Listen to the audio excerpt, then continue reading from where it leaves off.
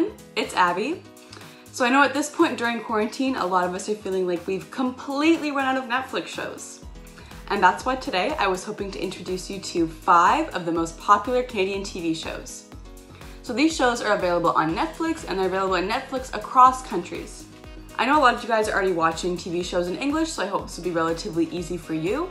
And I hope that you'll be able to find a show in there that helps you reconnect with Canada, since I know a lot of you are missing it here right now, or you've had to have travel plans completely delayed. And it'd also be a great way to learn about our arts and culture, and learn about shows maybe that you didn't even realize were made by Canadian companies. Alright, so here's five of the most popular Canadian TV shows. I hope you find one you like, and I hope you find even more than one that you like. Let's get into it. Alright, so my first recommendation is Kim's Convenience. Um, this is a show that has three seasons so far on Netflix and is available in Hong Kong, India, Singapore, South Korea, and the United States, as well as a number of other countries on Netflix, so be sure to check it out. I'm sure you'll be able to find it quite easily.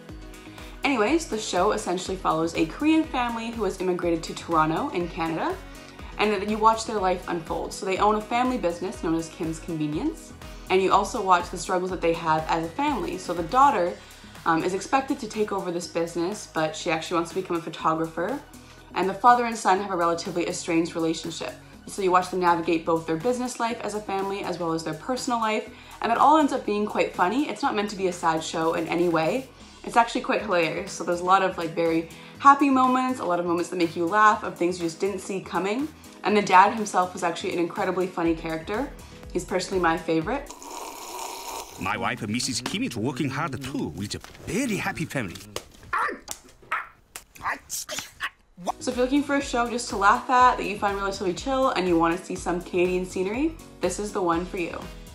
Alright, the next show is known as Alias Grace, and it's available in Japan, Brazil, India, Hong Kong, and France, among a host of other countries on Netflix. Uh, and it's only a mini series, so there's only actually six episodes of the show. If you really wanted to, you can complete it in one day, very easily. The show, like I mentioned, is known as Alias Grace, and it's based on Margaret Atwood's novel. So Margaret Atwood is a famous Canadian author who writes on topics of mental health, psychology, mystery, and women's issues, dystopian futures. Largely, she usually intertwines those themes. This particular mini-series follows a man and a woman who are convicted of murder. The man is sentenced to death, while the woman is sentenced to a mental institution. There they try to figure out if she's sane or insane, and therefore how should she be tried as in relation to this crime. It is not a question of your guilt or innocence that concerns me. I simply wish to know what you yourself can actually remember. I've lost part of my memory entirely. I hope sooner or later we will bring back your memory. So it's a great show if you're interested in mysteries, if you're interested in women's issues, mental health, psychology, all of that stuff. It really covers everything. And if you like that, then beyond the show, I also recommend you read Margaret Atwood's books. Okay, so our third show is known as Anne with an E. It's available in Japan, India, Brazil, the United States, and South Korea, and there's two seasons of it currently online. Of course, if I didn't list your country there, feel free to search it up on your Netflix. Hopefully it's there. It is available in quite a wide number of countries. So the show is set in Prince Edward Island, which is a stunning area of Canada that a lot of people maybe haven't visited or aren't even really aware of. Prince Edward Island is the smallest province of the country and is surrounded by coastline, making for a great scenery throughout the show. The story follows an orphan known as Anne, who has suffered some abusive and kind of difficult relationships in the orphanage she's been in, and as well as with the family she's been with previously. But then she enters a new family that actually includes some of her former siblings. And this ends up to be a great opportunity for her. You watch her come of age and transform into a new adult. Who are you? My name is Anne Shirley Cuthbert, and please be sure to spell Anne with an E. You're ridiculous. Diana, shall we swear to be best friends forever and ever? I solemnly swear to be faithful to my friend for as long as the sun and moon shall endure. Uh, and it's just a really amazing show to see. It's kind of, it's really happy. You don't really feel burnt down by all the things she's had to go through. And it's overall really joyful. Plus, there's two seasons, so lots to catch up on. Okay, fourth show on the list is known as Heartland. So this show is available in India, Hong Kong, Japan, South Korea, as well as the US. And there's actually 13 seasons of the show. So you have lots to watch during quarantine if you haven't already started. It's kind of set in the prairie provinces of Canada and it follows the life of a family that owns a ranch, but sadly the mother has died, and you watch the daughter really struggle with this throughout the show. And while that part is sad and the possibility of losing the ranch is rather sad as well, you watch the family come together more than once to really rekindle their relationships to each other and work as hard as they can to keep their ranch flourishing and alive. We don't whisper things to horses.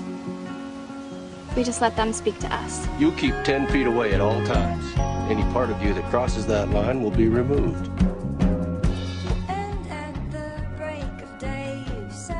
So it's a very heartfelt show. Of course, not all parts of it are happy, but it really touches on your emotions, on your heartstrings, and I think the scenery itself is also quite beautiful. That's why I'd give the show a good recommendation and I really suggest you watch it. After all, there's 13 seasons. There's lots of it to watch there. Alright, so my final recommendation is a really long-standing show on Netflix. Unfortunately, it's only available on Netflix Canada, which is too bad, but if you're still here in Canada and still using Netflix here, you should be able to access it. There's currently 12 seasons of this show, so it's a really long one with um, long episodes as well. A great one to get started on if you think you have a lot of time left not working and not going to school.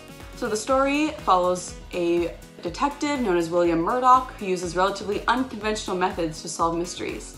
And it's all set in Victorian era Toronto. So that's a very different time from what Toronto looks like now, and it's really interesting to see those differences.